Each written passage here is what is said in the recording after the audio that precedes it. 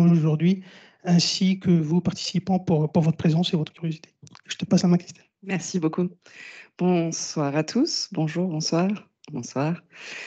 Donc moi, je suis Christelle Aya, je suis responsable adjointe du programme Santé numérique d'INRIA.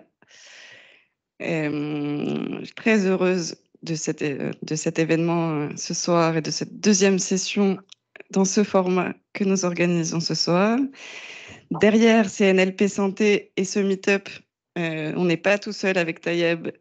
Nous sommes cinq dans l'équipe ANS INRIA. Vous rencontrerez tout à l'heure Céline Greiner, qui est la responsable du domaine euh, accompagnement industriel et écosystème innovant à l'ANS. Euh, Thierry Dard également, qui est le directeur du domaine interopérabilité. Philippe Gesnoin, qui est là devant aussi, responsable du programme santé numérique à mes côtés pour INRIA. Et ensemble, on a donc euh, essayé de mettre en place tout ça. Vous proposez un programme très simple, une heure et demie, qui sont déjà partis, avec toujours une présentation recherche et trois présentations entreprises. C'est ce qu'on vous propose aujourd'hui.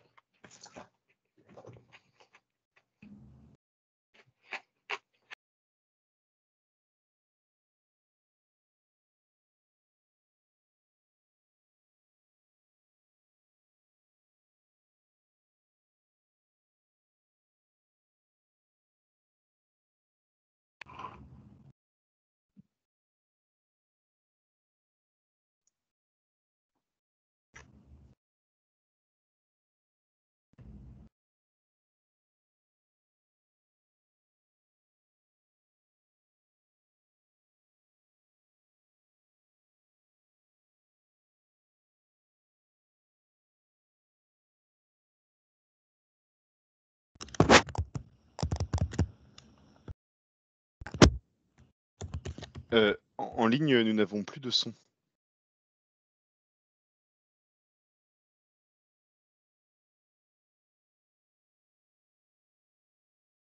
Marco, on ne t'entend pas en ligne. Le micro euh, de, de Christelle euh, est coupé.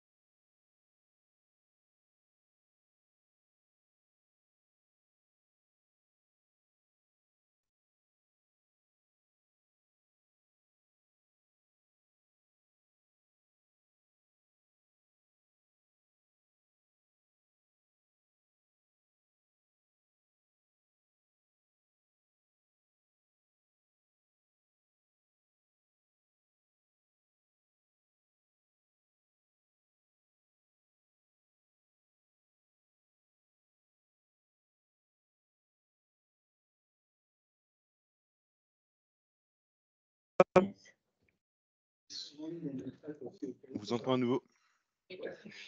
Est-ce que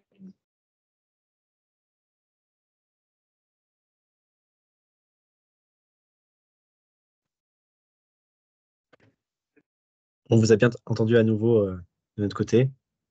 Ça m'a l'air OK là maintenant? On vous entend, oui.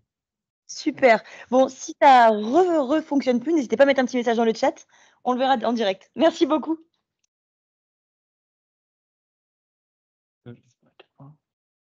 Ok.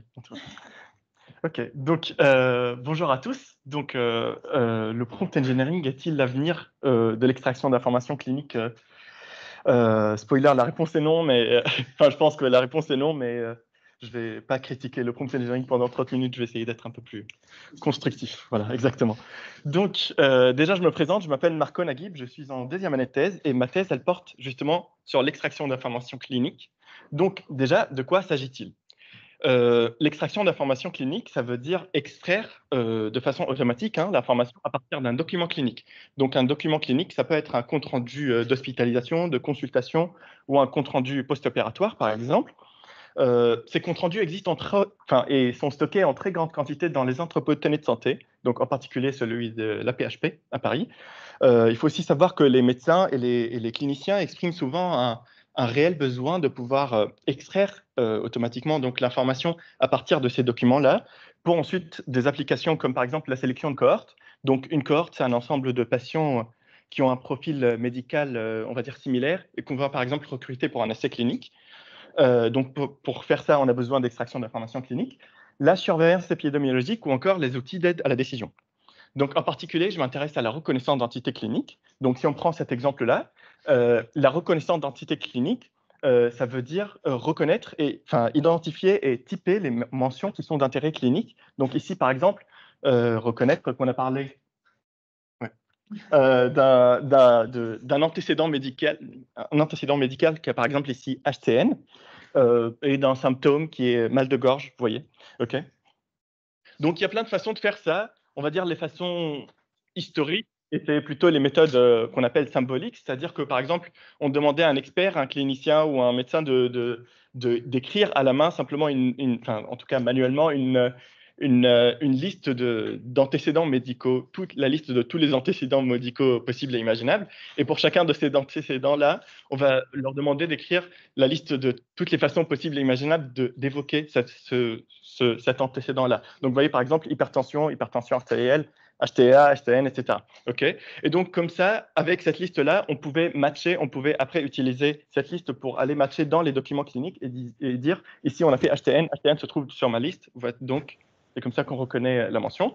Sauf que, évidemment, vous voyez que d'une part, déjà, la liste, elle, elle, euh, est potentiellement très, très longue et certainement, on va faire des oublis et ces oublis-là vont générer des faux négatifs. Mais aussi, on a des faux positifs parce que des fois, on fait euh, de la négation et on mentionne l'hypertension, mais euh, enfin, ne présente pas de signe de. Et du coup, cette méthode-là, parce qu'elle est trop rigide, en fait, elle va capturer ça comme un faux, faux positif du coup. Euh, pareil, si on parle de la parenté du, du, euh, du patient qui est concerné par le, le document, ou s'il s'agit d'une hypothèse, par exemple. Donc tout ça pour dire que ces méthodes symboliques étaient vraiment trop rigides. Euh, et après, on a eu euh, la deuxième génération, on va dire, des méthodes statistiques avec euh, euh, tout ce qui est donc les LSTM, les GRU. Je ne vais pas rentrer plus dans les détails avec éventuellement des couches de CRF. Mais l'idée, c'est qu'on utilisait des données annotées pour pouvoir apprendre à un modèle, un, réseau de neurones, réseau de neurones récurrent en l'occurrence, à apprendre à imiter la notation, c'est-à-dire à généraliser sur des textes qui sont jamais vus pendant l'entraînement. Ok? Donc il y a un type de méthode euh, statistique particulier qui va m'intéresser pendant cette présentation et dont je vais parler en détail, qui sont donc les modèles de langue préentraînés. Donc, les modèles de langue préentraînés, il y en a deux grandes familles, donc je vais peut-être les définir séparément. Donc, d'une part, on a les modèles de langue masqués. Un modèle de langue un bon modèle de langue masqué euh, va prendre par exemple une phrase comme ça, donc masque la capitale de la France, il va nous prédire Paris. Donc vous vous rendez compte, évidemment, il n'y a pas toujours une, seule bonne réponse qui est derrière le masque, mais le modèle, il va tenter d'associer une probabilité à chaque mot qu'il soit derrière le masque. Donc d'une part, on a les modèles de langue masqués, d'autre part, on a les modèles de langue causaux. Donc euh, un modèle de langue causale va prédire le mot qui est à la fin de la séquence. Donc par exemple, Paris, la capitale, un bon modèle de langue va peut-être prédire 2, et l'avantage avec les modèles de langue causaux, c'est qu'on peut les utiliser de façon autorégressive, c'est-à-dire on réinjecte la prédiction du modèle à la fin de la séquence pour faire une autre prédiction. Donc, on lui donne, pareil, la capitale de, on retourne là, de là, on retourne France, etc. Vous voyez? Donc, les modèles de langue masqués le plus célèbre, on va dire, c'est BERT. Les modèles de langue causaux les plus célèbres, il y a tous ceux qu'on entend parler tout le temps en ce moment, donc GPT, Mistral, Lama, etc. OK? Donc, vous voyez déjà que c'est pas très évident de euh, utiliser un modèle de langue pour l'extraction d'informations cliniques, parce que la modélisation de la langue, d'une part, est assez différente de la thèse d'extraction d'informations cliniques. Et c'est pas parce qu'un modèle sait prédire le mot qui est derrière un masque qui sait déterminer si un mot s'agit d'un antécédent médical ou non. Donc il faut un certain travail d'adaptation. Il faut adapter euh, ces deux choses euh, entre elles pour pouvoir utiliser un modèle de langue pour l'extraction d'informations cliniques. Donc la première façon d'adaptation qui est le plus adoptée, on va dire, en ce moment, est toujours le fine-tuning. Donc le fine-tuning, ça correspond à, modifier le modèle de langue, à optimiser les paramètres du modèle de langue sur la nouvelle tâche, qui est ici donc l'extraction d'informations cliniques. Donc, ce qui se passe, c'est qu'en général, on utilise le fine-tuning avec le modèle de langue masqué. Donc, ce qui se passe, c'est qu'un modèle de langue masqué, par exemple, comme ça, il faut savoir qu'à l'intérieur, il produit ce qu'on appelle une représentation vectorielle à chaque mot. C'est-à-dire que chaque mot ici dans cette phrase-là, il est représenté par un vecteur, une liste de mots, qui, une liste de, nombres qui sont censés être représentatifs de ce mot-là.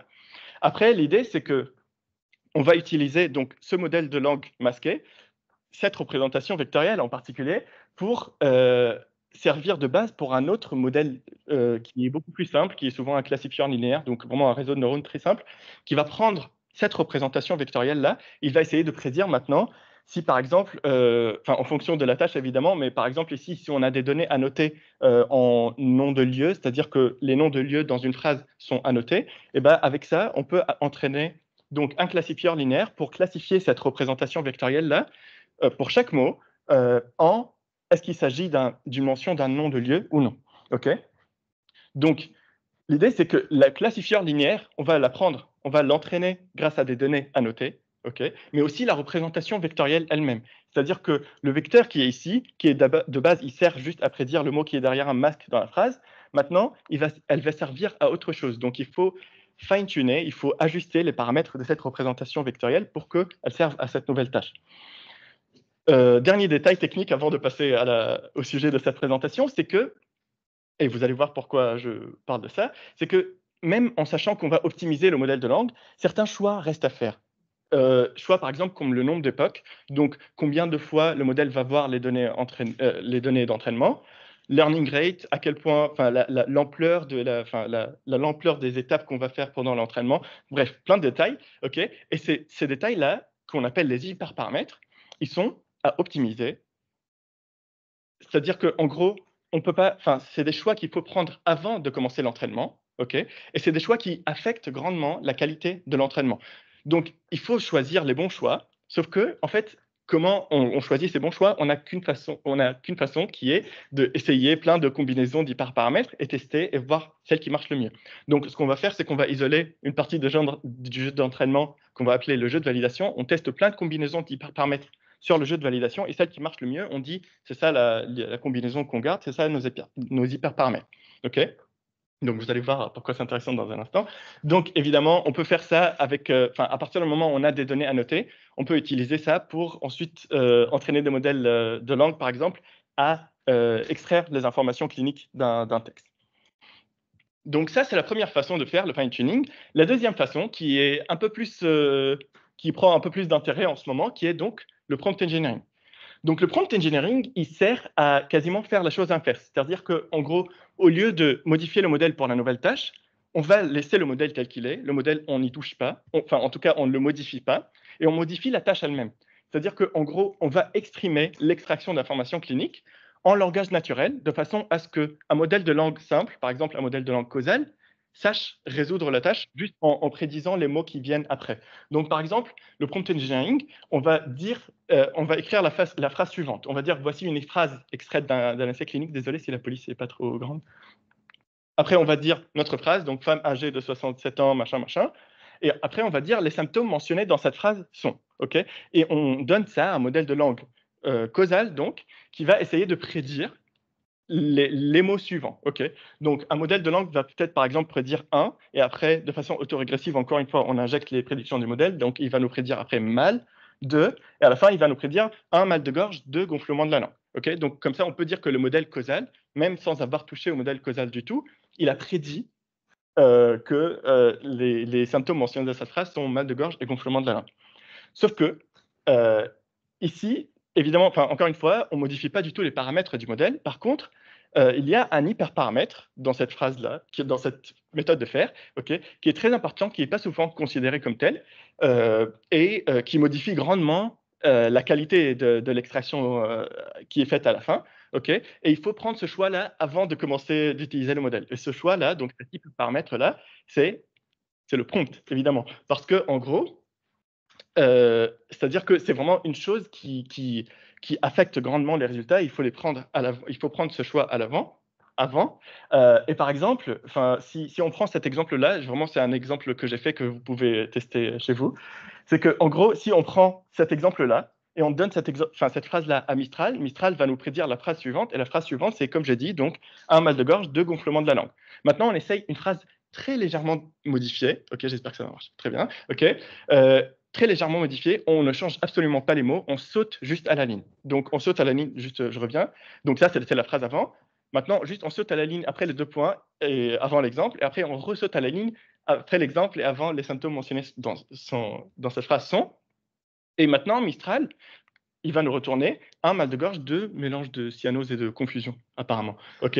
Donc, vous voyez que c'est vraiment très, très. euh, en gros, c'est très, très. Le, le- le modèle est très vulnérable par rapport à, à, la, formulation, et non seulement à la formulation, mais vraiment, j'ai envie de dire, la mise en page de- du, prompt et comment vous l'avez euh, euh, saisi. OK? Donc, déjà, j'aimerais bien qu'on qu'on apprécie pendant un instant à quel point le prompt engineering n'est pas interprétable, en tout cas, n'est pas plus interprétable que le fine-tuning, parce qu'on entend souvent dire que le prompt engineering, on voit des mots, le fine-tuning, on voit des, des chiffres, donc le prompt engineering, on comprend. Mais en fait, pas du tout. C'est pas parce qu'on comprend, enfin, c'est pas parce qu'on voit des mots qu'on comprend pourquoi le modèle a prédit tel mot plutôt que tel autre. Et surtout, euh, il y a aucune interprétation, enfin, en tout cas, moi, je vois aucune interprétation logique de pourquoi ça, ça marche pas et ça, ça marche. Voyez Et rien ne garantit que sur une autre phrase, ça, ça serait pas meilleur que ça. Voyez Donc, en gros, euh, vraiment, ce côté interprétabilité, on l'a pas non plus. euh, et c'est tout autant une boîte noire que le fine-tuning. Donc, on continue avec ça. Euh, donc, la question, c'est toujours quel prompt choisir? Est-ce qu'on choisit ce prompt-là ou ce prompt-là? Il n'y a qu'une façon de faire, encore une fois. Comme tous les hyperparamètres, on optimise ce choix sur un jeu de validation. C'est-à-dire qu'on a des données à noter, on teste plein de prompts, on garde le prompt qui marche le mieux sur la majorité des cas, et on dit ça, c'est le prompt qu'on va garder pour, euh, pour, euh, pour le futur. OK? Donc, le problème, il arrive où? Il arrive quand on associe le prompt engineering à un mot qui vend, beaucoup plus de, de rêve, qui est le few shot learning. Le shot learning, qui a été un terme euh, pas forcément introduit, mais en tout cas popularisé dans cet article euh, qui a introduit GPT-3, ok, qui s'appelle Language Models are Shot Learners. En gros, dans le résumé de cet article, on peut lire euh, Here we show that scaling up language models greatly improves task agnostic few shot performance. Après, ils continuent, ils continuent et ils disent euh, GPT-3 is applied without any gradient updates or fine-tuning, with tasks and future demonstrations specified purely via text interaction with the model. OK? Donc, en gros, plus besoin de, données à entraîner. En gros, juste, dans le prompt, on va dire la, la tâche, on va formuler quelle est la tâche qu'on veut faire. Éventuellement, on va donner des few shot demonstrations, c'est-à-dire quelques deux, trois exemples qui sont voici euh, par exemple une phrase, voici les symptômes qui sont dans cette phrase, voici une phrase, voici les symptômes qui sont dans cette phrase, voici une phrase et on laisse le modèle euh, faire. OK? Et donc c'est ça notre prompt. Et euh, c'est vrai que cet article, il montre vraiment des résultats très encourageants. Donc on se dit, bah, c'est super pratique pour l'extraction d'informations cliniques, ça tombe bien. En extraction d'informations cliniques, on a vraiment de vrais problèmes à accéder aux données, déjà parce qu'il y a des problèmes de confidentialité, etc. Et aussi, on a des problèmes d'accéder aux données annotées, parce qu'il y a un prix euh, qui est associé à la notation qui est très cher, qui est très euh, élevé, à cause de l'expertise qui est souvent nécessaire pour annoter les documents. OK? Donc on se dit, c'est très, très pratique. Par contre, on se demande, comment est-ce qu'ils ont choisi ces prompts-là? C'est-à-dire qu'ils ont mis, on a essayé ce prompt-là, ça marche très bien, mais, mais comment ils ont choisi cette formulation-là? Pourquoi Comment ils ont basé les choix de sauter à la ligne, pas sauter à la ligne Com- Combien de- d'exemples mettre dans le prompt Vous voyez? Ok? Et en fait, c'est pas très clair. Par contre, ce qui est clair, c'est justement la dernière partie. C'est euh, le fait de choisir le nombre euh, d'exemples qui sont dans le prompt. En gros, ils appellent K ici le nombre d'exemples qu'on va mettre dans le prompt, donc le nombre de demonstrations qui va être dans le prompt. Et ils disent, we experiment with a few values of K on the development set, and then run the best value on the test set. Tant mieux, j'ai envie de dire, c'est exactement comme ça qu'il faut faire. Mais aussi, j'ai envie de dire, c'est plus du few-shot learning. Vous vous rendez compte? En gros, arriver à ces résultats-là a coûté euh, n'a pas seulement coûté les quelques exemples qui sont dans le prompt, il a aussi coûté les centaines, les milliers d'exemples qui sont dans le jeu de validation et qui ont servi à, optimiser le prompt, à savoir que c'est exactement ce prompt-là qu'il faut utiliser, pas un saut à la ligne de plus, pas un espace de moins, vous voyez. Donc, en gros, optimiser le prompt nécessite des données à noter, et ces données à noter-là sont souvent passées sous le tapis, en fait. En général, on, ne, on ne mentionne pas ça, et on dit on a fait du few-shot learning avec cinq exemples, mais en fait, il y a aussi tous les exemples qui sont dans le jeu de validation qui sont pris en, compte, en compte. Donc, j'aimerais bien que ce soit aussi clair. Un vrai few-shot learning doit prendre en compte le nombre de données à noter qui, sont, qui ont servi à optimiser le prompt. Donc, on continue sur la littérature. Euh, globalement, on peut voir qu'il y a très peu de travail qui est fait sur la comparaison entre le prompt, prompt engineering d'une part et le few-shot learning d'autre part. En général, on va faire un travail sur le prompt engineering et du coup, on va faire un prompt qui est juste une description basique de la tâche, un deuxième prompt avec quelques exemples en plus, euh, un troisième prompt avec euh, let's think step by step, et après, on va dire que le troisième prompt, il marche beaucoup mieux que le deuxième et le deuxième beaucoup mieux que le premier, mais on ne dit jamais à quel point ces prompts-là sont mieux, ou moins bien que le fine-tuning en sous-entendant que le fine-tuning, c'est le passé, et voilà, ça ne sert à rien de comparer, alors que, comme on va le voir, euh, c'est pas évident. Donc, deuxièmement, comme je viens de le dire, souvent on emploie du, du faux few-shot learning, c'est-à-dire qu'on on met sous le tapis le nombre de données à noter qui ont servi à optimiser le prompt. Troisièmement, c'est très souvent sur l'anglais, et vous vous rendez compte que c'est pas parce qu'un prompt marche bien sur l'anglais que la version traduite en français de ce prompt va bien marcher sur le français. Euh, et quatrièmement, c'est très souvent sur les modèles basés sur GPT. Et pareil, encore une fois, c'est pas parce qu'un modèle, un prompt marche bien avec GPT qui va bien marcher avec Mistral, par exemple. Donc tout ça nous, euh, nous donne envie de faire une comparaison. Et donc c'est ce qu'on a fait. On a essayé de faire une comparaison juste entre le prompt engineering d'une part et le few-shot learning d'autre part. Euh, et donc on va vous enfin je vais vous montrer les résultats euh, petit à petit. Donc déjà on considère deux euh, familles, on va dire, de tâches. Il y a la reconnaissance d'entité générale, c'est-à-dire qu'on va prendre des entités nommées maintenant, mais vraiment en général du type personne, lieu, organisation, etc. Donc, ce n'est pas des antécédents médicaux, par exemple. OK Donc, il y a des corpus qui sont annotés, par exemple, Wikinaire, qui est annoté automatiquement, qui sont des articles Wikipédia annotés automatiquement en, en ces entités-là. ConLL euh, 2003, qui sont qui est des extraits d'articles de news euh, annotés manuellement. OK Euh, Désolé, vraiment, je sais pas pourquoi ça fait ça, mais en tout cas, voilà. Euh, E3C, qui sont des textes cliniques collectés à partir de journaux médicaux. Donc, vous voyez que ici, les types d'entités sont plus cliniques, acteurs, parties de corps, etc. Euh, N2C2, qui sont des comptes rendus d'hospitalisation, pareil, annotés en entité clinique. NCBI disease, qui sont des euh, euh, corpus annotés seulement en maladie, mais euh, ils sont annotés, selon leur syntaxe cette fois-ci. Bref. En tout cas, on considère ces tâches-là et on fait la chose suivante.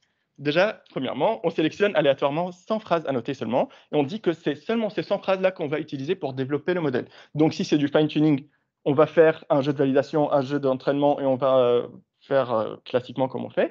Si c'est pour faire du prompt engineering, pour optimiser le prompt, on a le droit que de regarder seulement ces 100 exemples-là, pas un exemple de plus. Donc, il n'y a pas un grand jeu de validation à côté qu'on peut utiliser comme ça. Euh, parce que, je, tiens à préciser, parce qu'en extraction d'informations cliniques, on n'a pas des centaines ou des milliers d'exemples qui traînent comme ça euh, et qu'on peut utiliser. Et c'est pour ça qu'on s'intéresse au fichier learning. Donc, euh, les résultats. Donc, ici, vous allez voir les résultats défiler, mais donc déjà, sur l'axe des abscisses, on a les performances générales. Donc, euh, les la moyenne des performances sur Wikinaire et Conalel. ok? Et sur l'axe des ordonnées, vous allez avoir, je suis vraiment désolé, c'est pas très beau, mais euh, la performance clinique, donc sur E E3C, N2C2 et NCBI. OK? Donc, la moyenne des performances. Donc, par exemple, on teste déjà les modèles en fine-tuning. Donc, par exemple, MBERT, qui est une version multilingue de BERT. OK? Et on trouve que, euh, vous voyez, on a un score moyen autour de 0,8 en- dans le domaine général. Euh, quand je dis des scores, à chaque fois, c'est des F-mesures. Euh, 0,8 en domaine- dans le domaine général et 0,5 dans le domaine clinique. Vous voyez? Maintenant, on, on tente comme ça plusieurs modèles. Par exemple, Roberta Large est un peu mieux dans le domaine général, un peu mieux dans le domaine clinique. euh, BERT large, Roberta large, Bioclinical BERT, qui est un modèle pré-entraîné seulement sur, le domaine clinique. Et vous voyez que ici, euh, c'est normal qu'on marche pas aussi bien dans le domaine général parce que le domaine n'a vu que du texte clinique. Par contre, il ne marche pas spécialement mieux sur le domaine clinique non plus. Voyez? Donc, Clinical BERT, MedBERT, euh, et après, euh, on fait maintenant du prompt engineering. Donc, on fait du prompt engineering avec l'AMA 2, par exemple. Donc, euh, la taille des, points ici, elle, est, elle correspond à la, au nombre de paramètres dans chaque modèle, en fait. Donc, la taille du modèle. à vos souhaits. donc, l'AMA 2, voyez, déjà, l'AMA 2, vous voyez que beaucoup, autant compétitif dans le domaine général, autant il y a quand même un petit saut entre lui et le, fine-tuning dans le domaine clinique. Mistral qui est un peu moins bien dans le domaine général, un peu mieux dans le domaine clinique. Vous voyez, on fait défiler comme ça Bloom 7, Falcon, GPTJ, OPT, Vicuna 13, Vicuna 7, ça marche plus, Medalpaca et Vigogne. Euh, Medalpaca qui est pré-entraîné sur le médical et euh, Vigogne qui est pré-entraîné sur le français. Donc globalement, première remarque, euh, vous voyez que le fine-tuning globalement, on sait quand même à quoi s'attendre. Vous voyez que les résultats sont très resserrés, alors que, alors que ces modèles-là n'ont euh, globalement pas du tout la même architecture, ni surtout les mêmes données d'entraînement. Vous voyez qu'on a quand même des résultats qui sont assez similaires. Par contre, le prompt engineering, euh, vous voyez que ça, ça, dépend beaucoup plus du modèle. Et vraiment, en fonction du modèle, on peut s'attendre à des résultats très différents. Et puis, disons-le, quand même, il y a un petit saut qui est entre le meilleur des modèles euh, aussi bien dans le domaine général que dans le domaine clinique, qui est entre le meilleur des modèles euh, avec du prompt engineering et le pire des modèles qui est avec euh, le fine-tuning. Donc ça, c'est sur l'anglais. On a fait ça aussi donc, donc sur le français et sur l'espagnol. Donc, le français, pareil, Wikinaire, qui est un corpus en fait multilingue. Euh, French Press, qui sont des émissions radiophoniques francophones transcrites. E3C, encore un modèle, un corpus multilingue euh, French Med, qui sont des collections de notifications d'une part et des titres euh, indexés, enfin des titres d'articles dans des journaux indexés dans PubMed, dans Medline, pardon. Donc, euh, pareil, on sélectionne nos 100 phrases et pareil, on a les résultats comme ça. Donc, vous voyez, fine tuning, pareil, encore une fois, on a des résultats qui sont resserrés et là, on voit que le prompt engineering est vraiment. Donc, les deux conclusions que je viens de dire sont juste plus accentuées. D'une part, euh, le prompt engineering beaucoup plus dispersé que le fine-tuning. D'autre part, euh, euh, le, fine-tuning est simplement mieux, aussi bien dans le domaine clinique que dans le domaine général.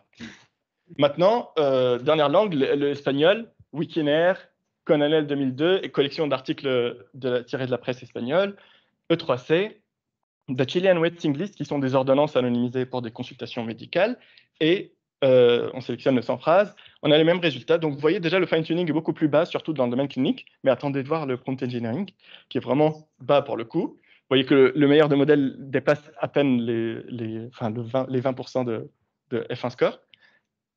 Euh, voilà. Voilà, c'est tout ce que je voulais dire. Donc, euh, globalement, on peut dire le prompt engineering, disons-le, est constamment inférieur au fine-tuning, en tout cas en matière d'extraction d'informations cliniques telles qu'on a définies dans ce, cette expérience-là.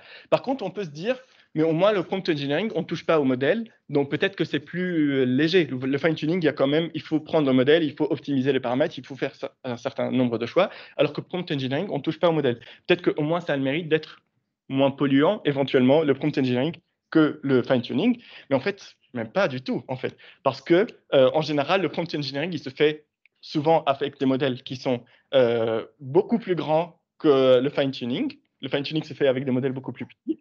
Et du coup, ça fait que même la partie, en tenant en compte la partie du fine-tuning du modèle, donc vous voyez Bert ici, la partie rouge, euh, elle est vraiment négligeable face à juste l'inférence qui est, enfin, c'est vraiment le, juste utiliser le modèle pour leur euh, tâche euh, de pré-entraînement sur, par exemple, le Mistral ou la main. voilà, j'aimerais bien avoir une discussion à la fin sur JGBT, si j'ai le temps. Euh. Donc, euh, juste, euh, si jamais, la, cause environnementale n'est pas une raison suffisante pour utiliser des modèles plus légers, euh, eh bien, dites-vous aussi que l'impact carbone, il est très souvent lié au coût computationnel, simplement. Coût computationnel, c'est-à-dire qu'en gros, j'aurais pu faire un graphique ici avec le prix que vous allez dépenser pour utiliser telle ou telle méthode, ou le temps que vous allez attendre pour utiliser telle ou telle méthode, et globalement, les résultats, les graphiques est similaires. Donc, pour résumer, donc les deux premiers points sur l'interprétabilité et sur les données qui sont souvent cachées sous le tapis. Troisièmement, le fine-tuning semble en tout cas supérieur au prompt engineering en matière d'extraction d'informations cliniques. Et quatrièmement, le fine-tuning est bien moins polluant que le prompt engineering, et cette différence est souvent due plutôt à la taille des modèles plutôt qu'à la- aux méthodes elles-mêmes. Donc, j'aimerais bien juste conclure avec un- un point beaucoup plus applicatif, euh, qui est donc l'apprentissage actif. Donc, pour l'instant, ce qu'on on a fait à chaque expérience, c'est que on a euh, fait la simulation suivante. On a collecté, collecté un grand nombre de textes cliniques. En fait, on a fait exactement ce que euh, une personne intéressée par l'extraction d'informations cliniques dans un cadre vraiment clinique euh, appliqué pourrait faire. C'est-à-dire que la personne va collecter un nombre de textes cliniques. Elle va sélectionner de façon aléatoire, on va dire, on va dire 100 textes, mais enfin un petit nombre de textes et elle va euh, annoter manuellement euh, ces données-là, donc annoter en entité clinique. Et après, on va utiliser ces données pour apprendre à un modèle à général- généraliser sur des textes qui sont jamais vus pendant l'entraînement. Donc, euh, cet apprentissage peut être donc du fine-tuning ou du prompt engineering, mais voyez. OK Donc, déjà, pourquoi 100 textes et pas plus? Parce que, évidemment, le coût de la notation est très élevé dans le domaine clinique, donc on a, on a vraiment un peu cette contrainte-là tout le temps. OK Par contre, pourquoi faire de la sélection aléatoire? C'est-à-dire qu'on sait que ces documents cliniques-là, ils sont nombreux et peut-être que certains d'entre eux auraient été plus pertinents à annoter que d'autres. Peut-être que l'information contenue euh, dans certains d'entre eux vaut mieux, vaut mieux être annotée que d'autres qui sont peut-être un peu plus bateaux ou enfin voilà qui contiennent pas l'information nécessaire.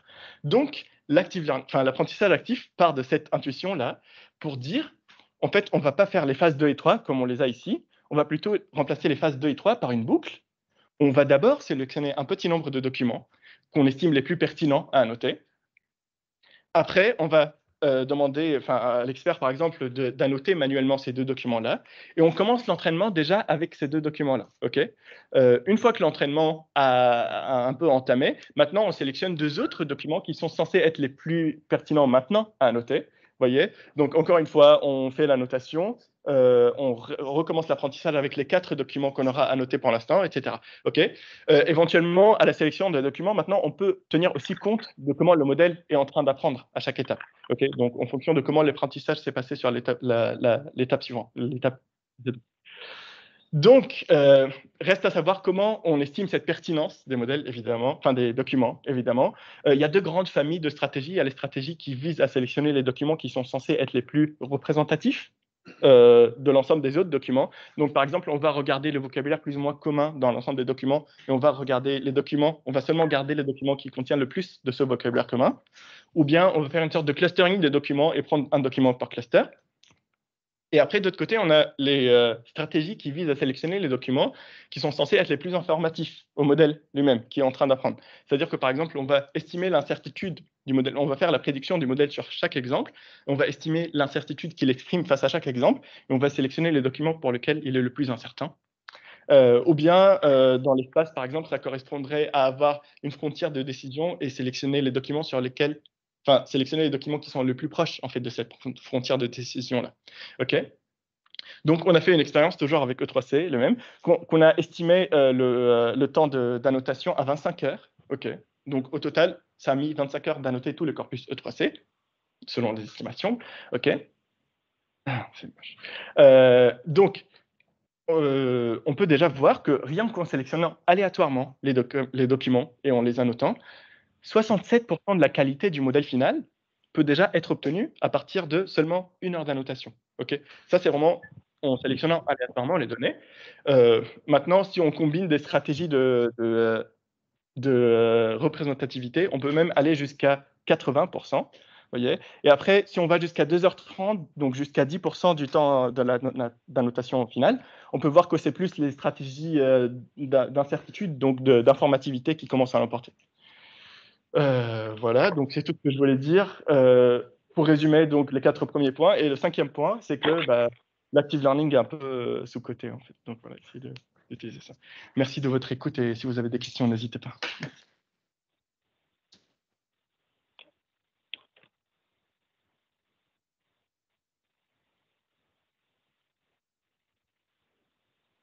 Si on a des micros. Ah. Et, et oui, bien sûr. Bien sûr. Merci beaucoup déjà, Marco. Euh, j'ai une question, moi. Je crois que c'est celle-là. Euh, ça fait peur, je sais, mais.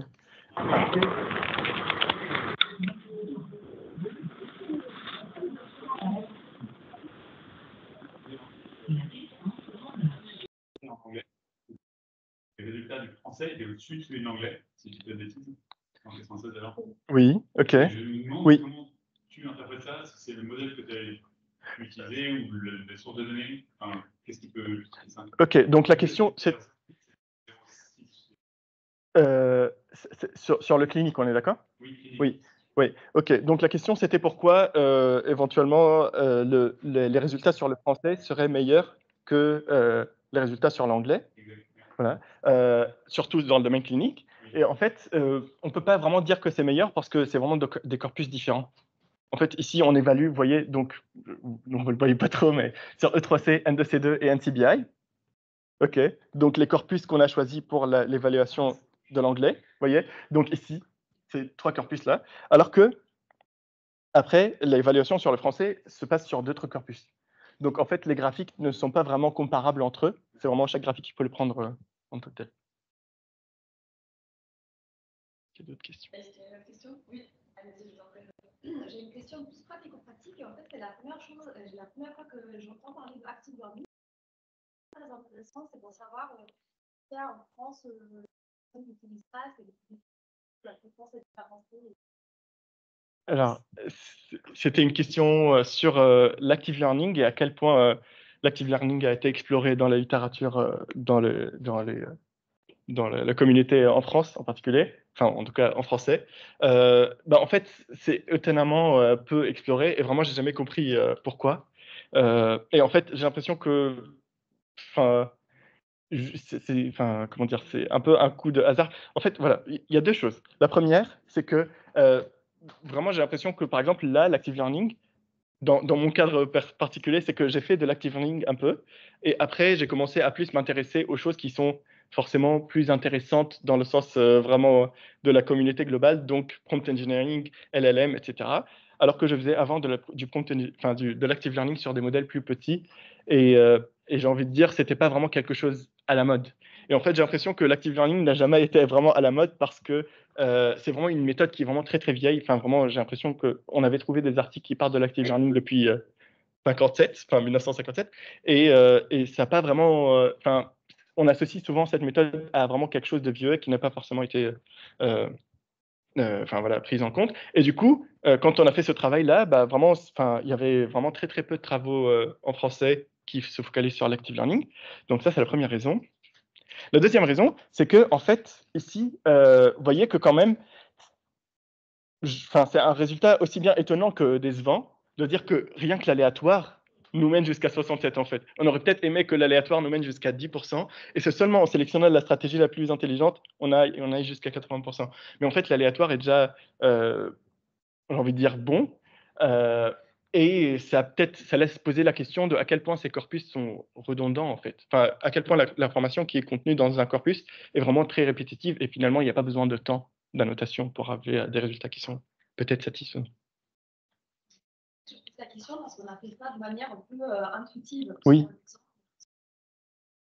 Classe, en fait, comme vous pouvez le dire, euh, dans une classe, euh, marche mal, on essaie de comprendre quels sont les mots qui sont bien reconnus, etc. Oui, Mais du coup, euh, avoir une méthodologie un peu plus euh, scientifique, euh, tu sais, euh, c'est ça, c'est ça exactement. Oui, et je pense que oui, enfin parce que enfin c'est- il y a une sorte de, de cercle vicieux de en fait il n'y a pas de travaux et du coup on ne sait pas par quoi commencer et du coup on commence jamais et du coup il y a encore moins de travaux et du coup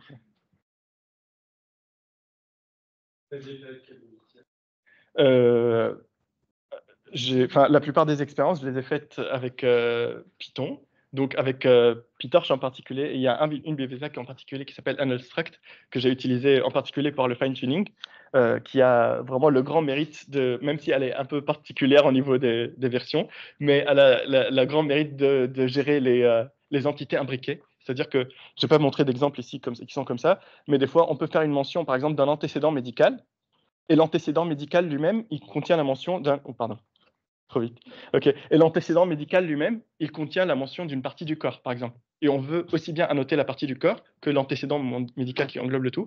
Et vraiment, très très peu d'outils euh, font ça. Et vraiment, encore une fois, très peu de travaux euh, gèrent les entités euh, cliniques comme un problème de, avec des entités qui, peuvent être imbriquées.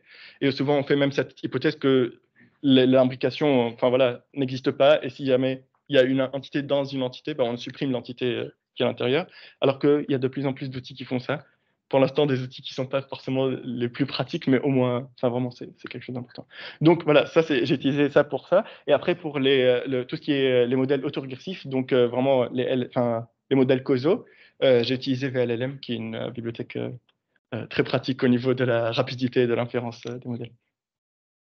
Pour documents, vous avez utilisé euh, en fait, la notation des documents, enfin tous les documents qu'on a qu'on a présentés ici, enfin pardon, tous les corpus euh, annotés qu'on a, euh, oui c'est ça, ils, existent déjà, et la plupart d'entre eux même sont relativement vieux. C'est-à-dire que ça traite de, patients, c'est-à-dire en gros, on a on a eu une consultation ce jour-là, et ce jour-là, c'est vraiment en 98, et voilà. Enfin, vous voyez, vraiment, c'est des corpus qui datent un peu, mais et, et, ça aussi, c'est un problème qui est vraiment très souvent mis, enfin mise en question, j'ai envie de dire, c'est que euh, les, corpus, il y en a vraiment très très peu. Et en fait, on ne se rend pas compte à quel point les corpus euh, sont rares dans le domaine clinique. Et en général, euh, pour avoir un corpus qui a suffisamment de succès, bah, ce qu'on va faire, c'est qu'on va faire un corpus qui est vraiment trop général. Et finalement, si je veux faire une application particulière, bah, ce corpus n'est jamais assez général pour vraiment correspondre à ma tâche. Et du coup, ça fait que vraiment les corpus sont très rares, mais aussi étant donné qu'en général, l'annotation ne se passe pas en ayant en tête le fait que autant de gens vont utiliser ce corpus, en fait. Et du coup, il n'y a pas forcément la qualité et le, le, le, l'exactitude qui est nécessaire, en sachant que, c'est-à-dire pour, pour le nombre de fois que un tel ou tel corpus a été utilisé, ça, aurait été, ça aurait été mieux de, peut-être le mieux annoter que ça. Et des fois, vraiment, on, se rend compte qu'un corpus assez célèbre contient des erreurs euh, d'annotation qui sont assez évidentes. Merci. Une dernière question, une dernière question. en fait, enfin, j'étais impressionnée de peu de robustesse du compte. Et du coup, euh, ça veut dire que est-ce qu'il y a des bonnes pratiques euh, enfin, Plein de gens utilisent ChatGPT tout le temps, oui. plein de trucs. Et est-ce qu'il euh, y a des bonnes pratiques à connaître pour pouvoir écrire son compte, c'est-à-dire ne pas technique, par exemple ouais. mais, euh, Et où est-ce qu'on peut les trouver? Oui, pardon, j'ai oublié de dire la question d'avant, mais en tout cas, cette question, c'était est-ce qu'il y a des bonnes pratiques pour euh, faire euh, utiliser des prompts? Bah, Je pense que vraiment la réponse est non. Enfin, vraiment, la réponse est c'est très dépendant du modèle et c'est très dépendant de, bah, du. Enfin, le modèle n'est pas sorti de sa Exactement, voilà, exactement. Et j'ai envie de dire, vous voyez que vraiment, il n'y a aucune raison profonde de pourquoi les modèles font ça. C'est vraiment très potentiellement lié à, aux données d'entraînement sur le, modèle, etc. Donc, ouais, et j'aimerais bien juste une,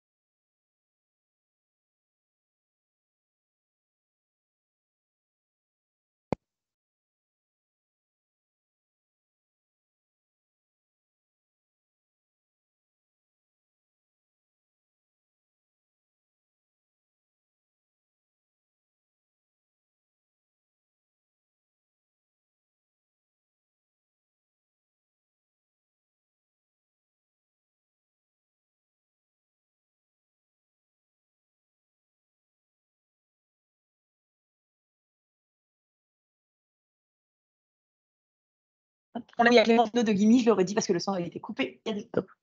Ok, voilà, chaque un bon son Le son est coupé, vous savez. Ouais. ok. Bonjour à tous. Euh, donc, je suis Clément Guillaume, cas du chez Gimli, euh, donc une startup de structuration de données en oncologie. Donc, euh, qui, qui, va vous parler, vu que c'est euh, assez proche de- du cas qu'on vient de décrire, euh, que vient de décrire Marco. Donc, euh, Gimli, qu'est-ce que c'est? D'où ça vient? Euh, Ça vient de euh, notre fondateur euh, Alexandre, qui, au lieu de regarder les matchs de rugby comme tous ses confrères toulousains, devait annoter manuellement des données cliniques pour répondre au projet, au projet de recherche, des, données qu'il fallait donc rentrer manuellement dans des tableaux Excel, des, quelles données, des données qui dépendaient des, projets de recherche.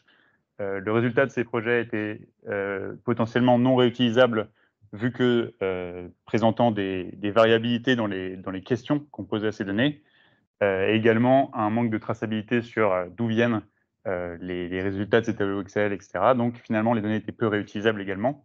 Et donc, la problématique de vouloir automatiser ça et en ayant en tête l'utilisabilité de, des résultats de ces, ces projets, donc pas seulement une automatisation théorique, mais vraiment quelque chose qui soit exploitable. Et donc, euh, euh, Gimli a été créé. Gimli, c'est une solution euh, qui intègre donc le QNLP pour structurer de la donnée médicale et euh, en vue de l'exploitation de données de vie réelle en oncologie. Donc, vous voyez que l'interface ressemble à ce qu'on a vu dans quelques exemples, à ceci près qu'on a à gauche des interfaces de présentation des faits, ce qu'on appelle des faits. On va décrire, je vais vous décrire un peu d'où ça vient. Donc, quels sont les challenges qu'on a quand on se pose la question de l'automatisation de la génération de données de vie réelle Euh, Tout d'abord, la qualité de la donnée de vie réelle, euh, c'est-à-dire est-ce que cette donnée est sûre, est-ce qu'elle est, vraie, et ensuite, est-ce qu'elle est complète? Euh, Donc ça, c'est un processus qui va nécessiter l'intervention d'experts pour valider la donnée. Et euh, ce processus de validation, il va potentiellement être coûteux en temps également.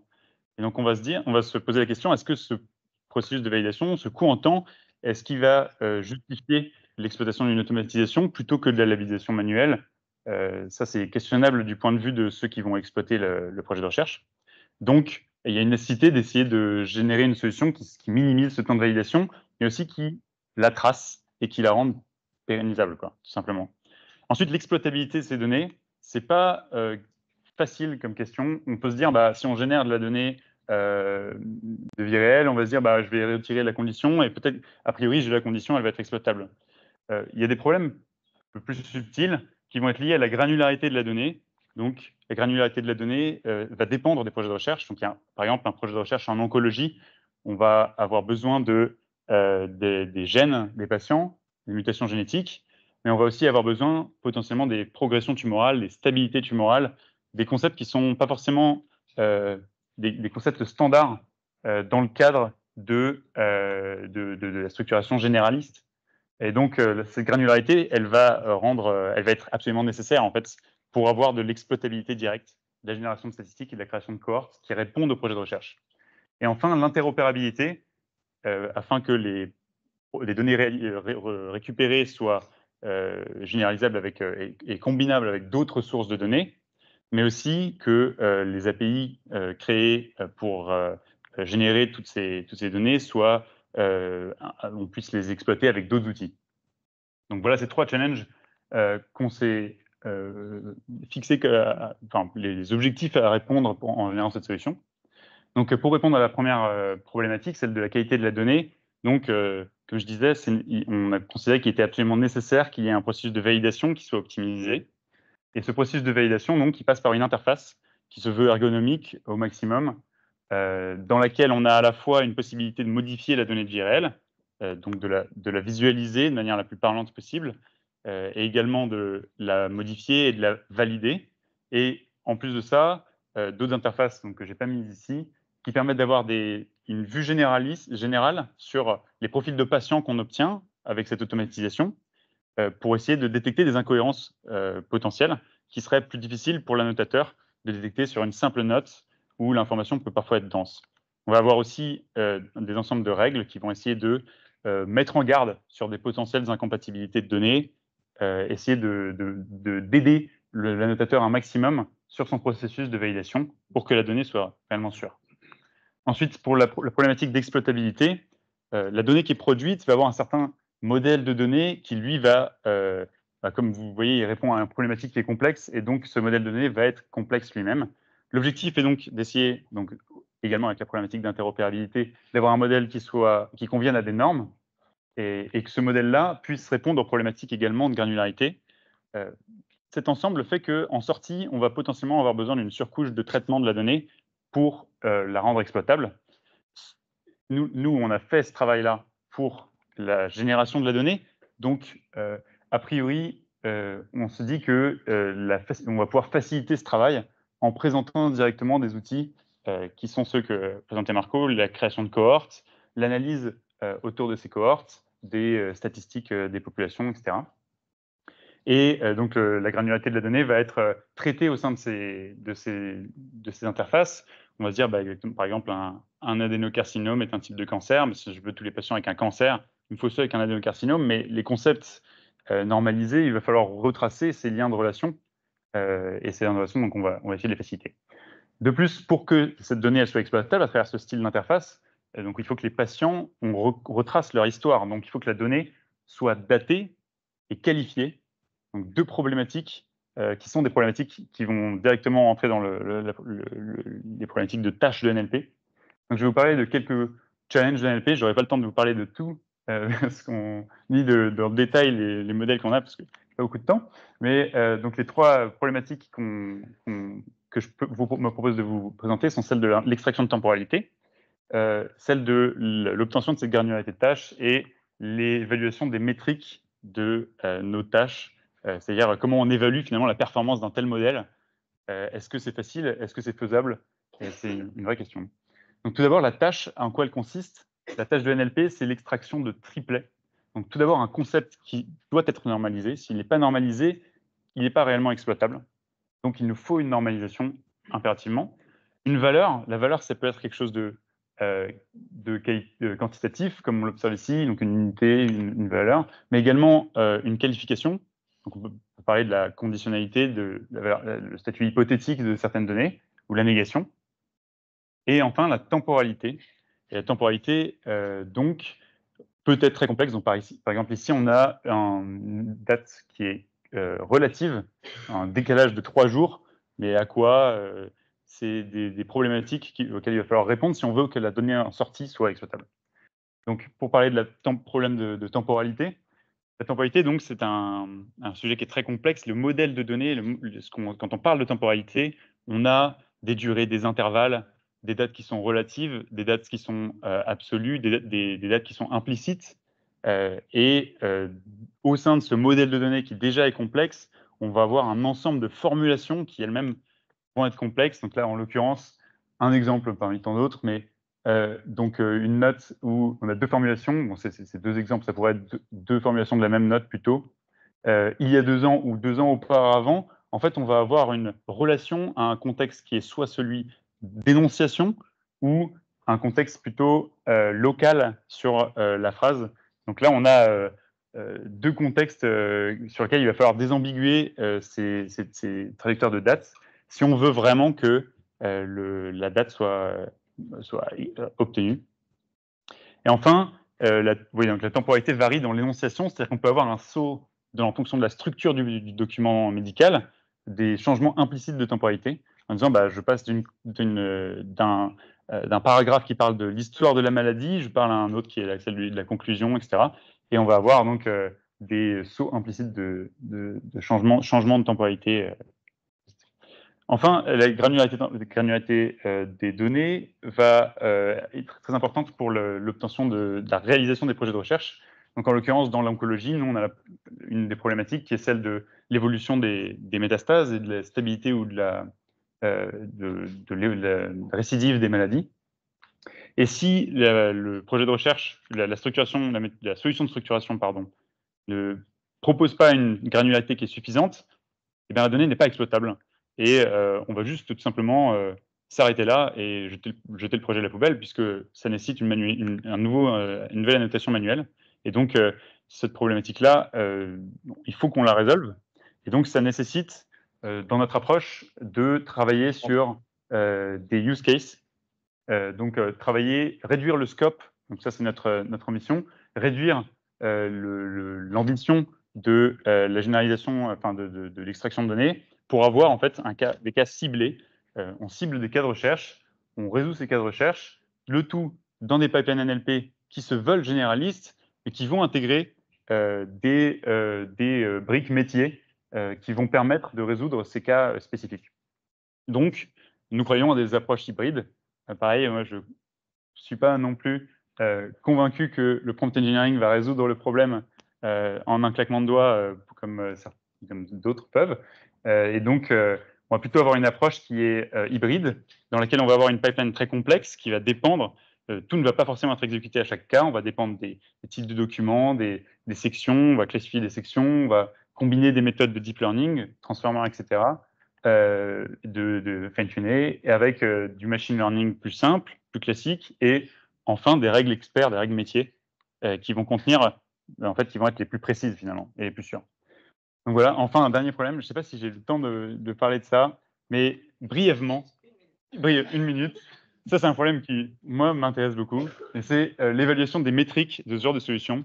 Euh, donc, dans le cas des euh, documents médicaux, on a en réalité un processus de labellisation qui est extrêmement complexe.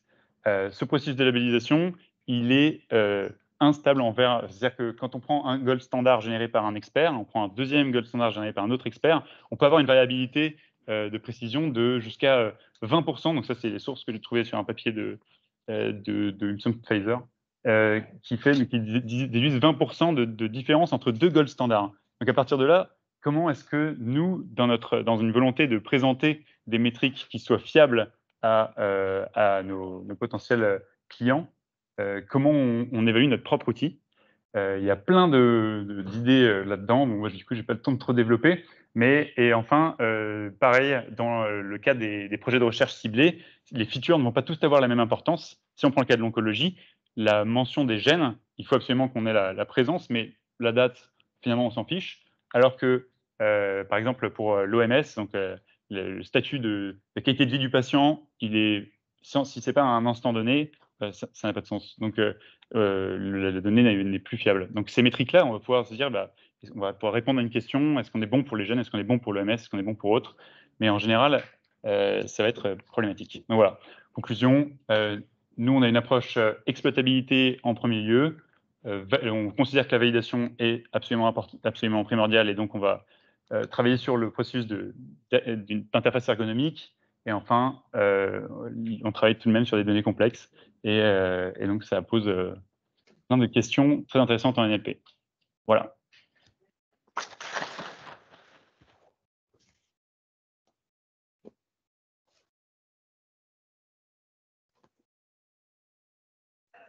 Et éventuellement une question en ligne, si jamais. On vérifie la question en ligne. Et on dans la table, pour après. Sauf s'il y a une question dans la table maintenant, n'hésitez pas. Il n'y en a pas non plus. Non. Très bien. Bah, merci beaucoup, Clément. Merci.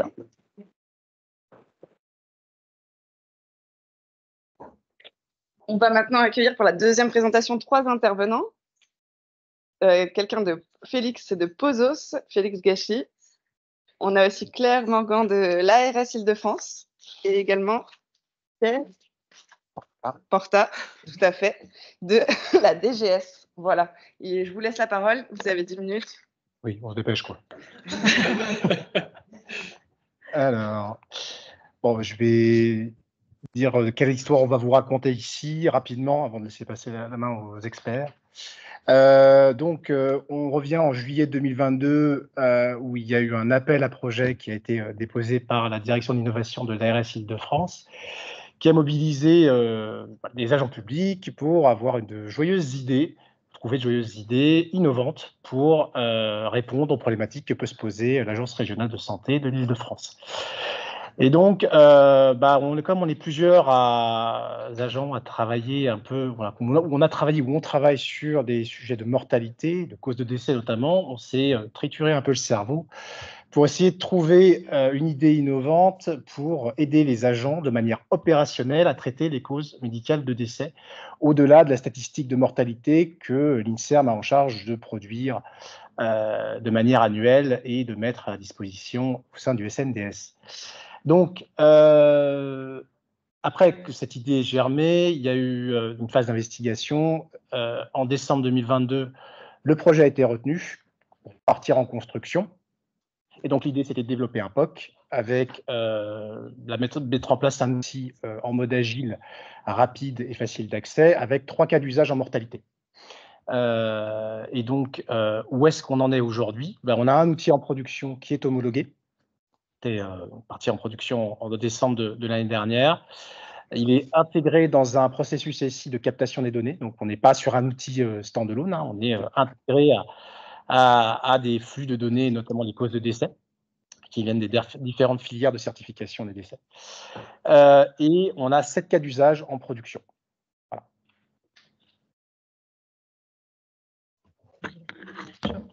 Moi, je suis docteur Claire Morgan, je suis à la RSI de France. Je suis euh, le service que je dirige et d'expertise métier en fait sur ce projet. Et c'est en ça euh, qu'on est là aujourd'hui pour vous présenter un, joli projet qu'on a trouvé d'association euh, privée-publique qui fonctionne et qui a fonctionné assez vite. Donc, c'était un des enjeux pour nous. Alors, pourquoi le besoin? Parce que Pierre vient de le dire. Globalement, vous pourriez vous dire, bah, il y a le CPDC qui produit la statistique annuelle de décès.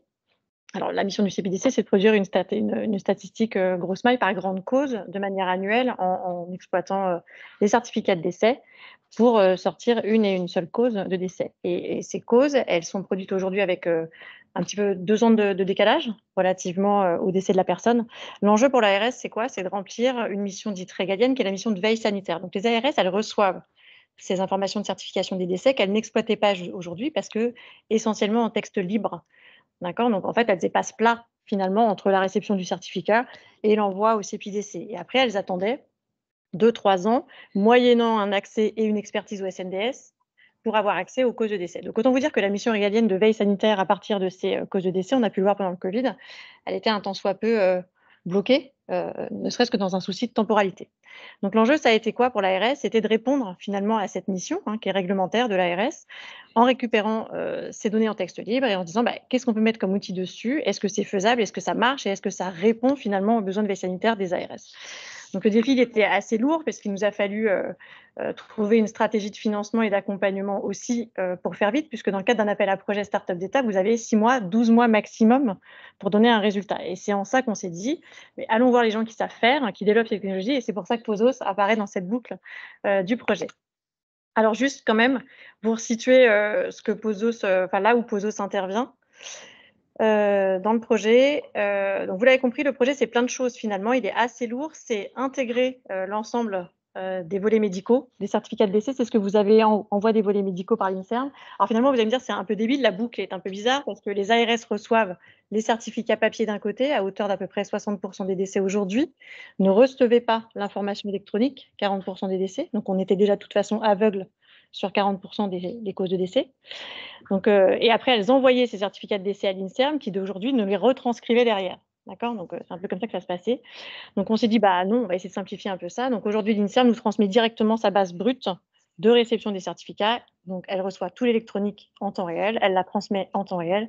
Et tout le papier qui est reçu, donc là, vous comprenez déjà qu'il y a un sujet de temporalité. On reçoit forcément un peu plus tard. Mais dès que c'est reçu, c'est envoyé à l'ARS. C'est bien que l'ARS aujourd'hui, on a nous tous les décès reçus par l'INSERM hier, les 40% de décès électroniques, plus tout le papier qui a été réintégré hier, est reçu à la RSI de France et traité chaque jour.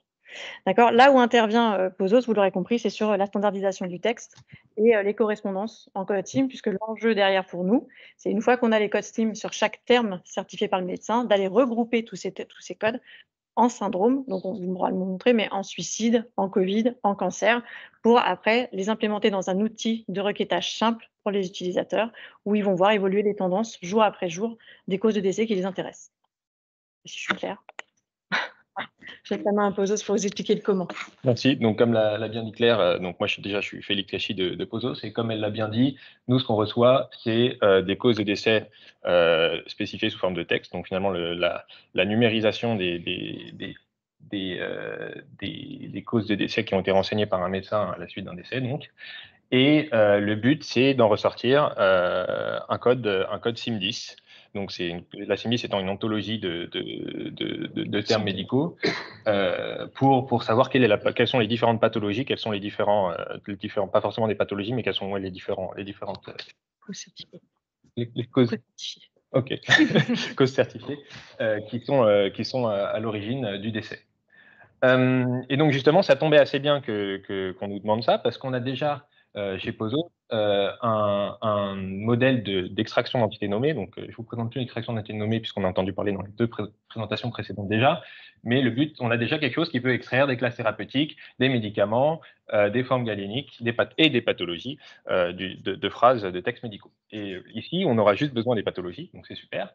Euh, par contre, il y a quand même une étape à faire avant.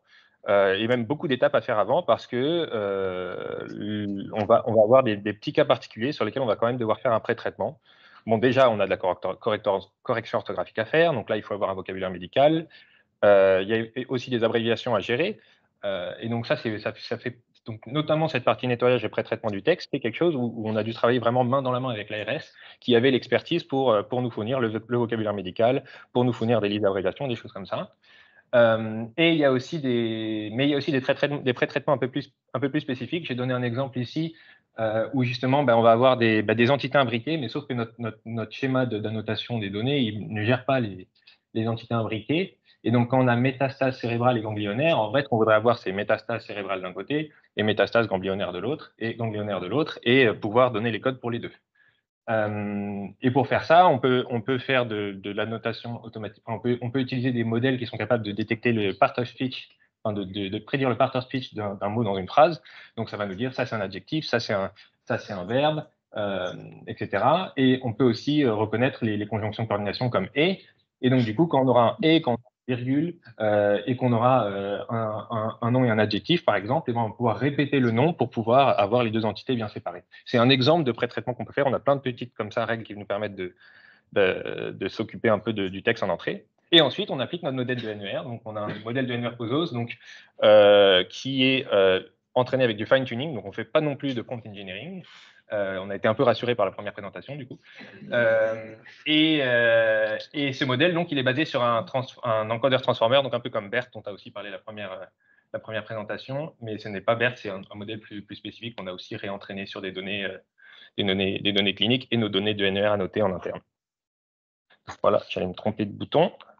Et, et donc ça, c'est pour le NER, parce qu'une fois qu'on a extrait, on a extrait l'entité, et ben cette entité, on sait juste que c'est une pathologie, on sait comment elle s'appelle, mais euh, on peut dire plein de, il y a plein de façons différentes de, de, de, de dire cancer du sein. On peut parler de, de, tumeur, on peut parler de, même, même parfois on va pas dire sein, on va dire tumeur mammaire, des choses comme ça. Il y a vraiment plein de variations possibles d'un même terme médical.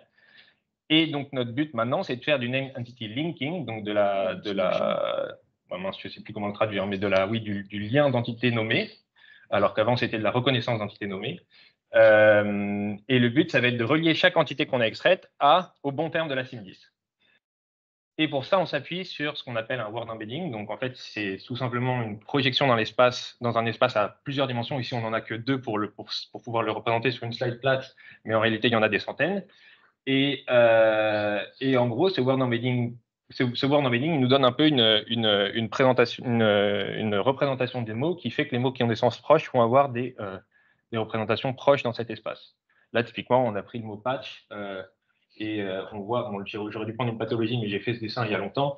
On a, on a, on a pris le mot patch et euh, c'est proche de synonymes de patch, c'est proche de médicaments qui sont eux-mêmes des patchs, etc. Et donc, pour qu'on ait vraiment quelque chose qui soit euh, adapté au domaine clinique, il ne faut pas prendre n'importe quel word embedding entraîné sur Wikipédia ou quoi que ce soit. Il faut aussi utiliser, il faut aussi l'entraîner sur des textes médicaux pour que, par exemple, ben justement, euh, on ait des noms de médicaments de type patch qui soit proche de, l'embedding de patch. Et enfin, du coup, en, prenant, en regardant simplement la distance entre les, entre les entités dans, euh, dans ces nuages de mots, euh, on peut euh, regarder aussi la distance avec des, termes de la SIM10, mais des termes d'autres ontologies aussi, donc, sur lesquels on s'appuie. On en a quatre en tout. Et, et on va aussi s'appuyer sur des synonymes qui sont parfois définis pour ces, pour ces, pour ces terminologies-là. Et donc, du coup, en regardant les plus proches voisins, on peut essayer de déterminer. Donc, après, il y a tout un système de vote qu'on applique derrière pour justement euh, panacher un peu les différentes ontologies pour finalement donner le bon code de la SIM10, enfin, idéalement, le bon code de la SIM10 qui correspond euh, à la pathologie extraite. Et donc, pour donner un peu une idée des résultats, donc nous, on n'a pas fait de l'active learning, mais on a fait une sorte d'active learning du pauvre, c'est-à-dire qu'on a fait une première version du modèle. Euh, ça marchait marchait pas trop mal, mais on avait quand même beaucoup d'exemples sur lesquels ça marchait pas bien. Et on a pris ces exemples-là sur lesquels ça marchait pas bien, et on en a fait un, un exemple, un set de tests difficiles. Et donc là, du coup, on compare un peu les différents, les différents résultats. Donc, si on avait juste un système expert avec des règles pour essayer de matcher uniquement les, tous les synonymes, si on s'était juste appuyé, sur les terminologies et leurs synonymes, on n'aurait que 23% d'accuracy. Euh, en faisant notre NRL, donc quand je dis NRL, c'est juste pour, euh, pour faire une sorte de mot valise avec des acronymes, donc c'est vraiment euh, l'acronyme de l'acronyme, quoi. Mais euh, c'est NER plus NEL. Et euh, quand, quand, quand on l'applique uniquement avec la terminologie SIM10, on a 63% de, de performance. Et quand on utilise les quatre terminologies qu'on fait un système de vote entrée, on est à 72. Et après, quand on rajoute les règles qu'on avait rajoutées au début, et ben là, on obtient vraiment un bon résultat sur les exemples difficiles. On verra après que sur la, la globalité, ça donne même des meilleurs résultats. Voilà, c'est tout pour la partie technique. Alors, on n'a pas le temps de vous faire une démo de l'outil parce que l'outil aujourd'hui, ce que vous disiez Pierre, il est en production. Je finis juste très vite. Euh, voilà, donc là, vous avez juste des extraits de sortie euh, de l'outil qui est mis à disposition des agents de l'ARS. Donc, ce que je vous disais, c'est qu'ils ont euh, accès aujourd'hui au- à l'ensemble des causes de décès brutes de 2019 à hier, finalement, et ils peuvent, euh, par grand regroupement syndromique, par exemple, tra- travailler sur le Covid, le suicide, le cancer, la tuberculose, c'est ceux qu'on a mis en cas d'usage aujourd'hui. Évidemment, vous vous doutez bien qu'il y a d'autres perspectives, hein, il y a plein, plein d'autres cas d'usage qu'on a envie de développer. Et par ailleurs, on travaille aussi un module de veille sanitaire un peu réactif qui, avec les mêmes technos, nous donnera la récurrence de mots et pourra nous dire attention, sur les 15 derniers jours, vous avez euh, tout ce groupe de mots-là ou tout ce groupe de symptômes qui émergent chez les jeunes, chez les vieux ou dans tel département. Voilà, c'est un peu l'enjeu. En tout cas, aujourd'hui, ça, marche. Les, juste les performances globales, euh, pour vous les donner aujourd'hui, euh, Pozos arrive à noter 98,5% des termes hors complexe. hein. On est OK sur les, les plus simples et avec des taux de concordance par rapport au gold standard qui est le CPDC, finalement, hein, un gold standard à hauteur de 90%. Voilà. Et puis les perspectives, juste rapidement, eh ben, pour l'instant, on est sur un, un test avec euh, trois autres ARS euh, qui euh, vont avoir accès à l'outil là, puisqu'il est homologué, et l'objectif étant de l'ouvrir à, à l'ensemble des autres ARS pour le besoin de veille sanitaire un peu réactive. Voilà, on est fini. Merci beaucoup.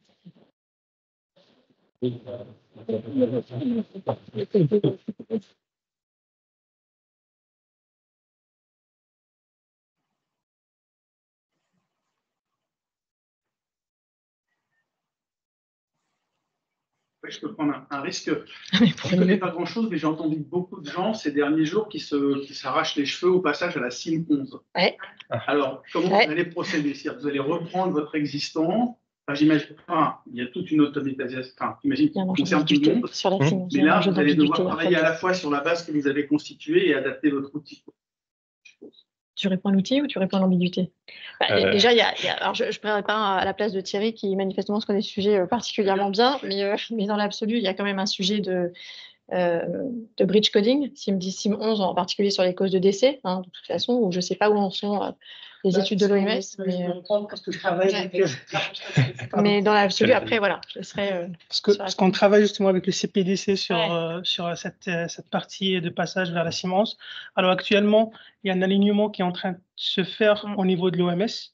Donc là, on, est, on participe, par exemple, euh, en tant que COMS, mais aussi autant que euh, avec l'ANS ou à une task force qui est, euh, qui est, euh, qui est organisée par l'OMS.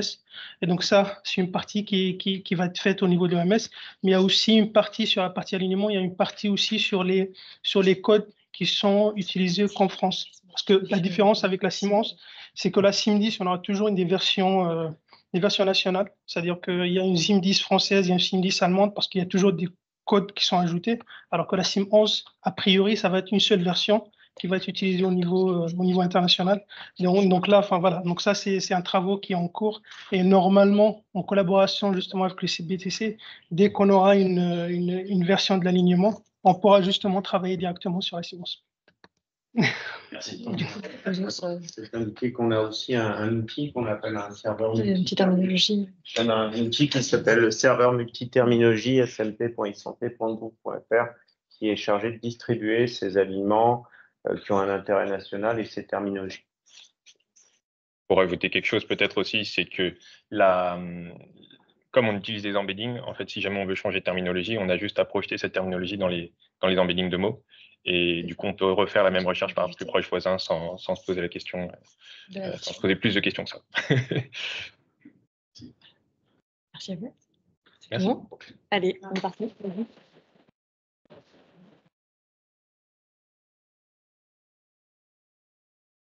Dire la troisième, euh, la troisième entreprise, vous voyez qu'il y a aussi un peu de diversité dans les, les présentations de ce soir.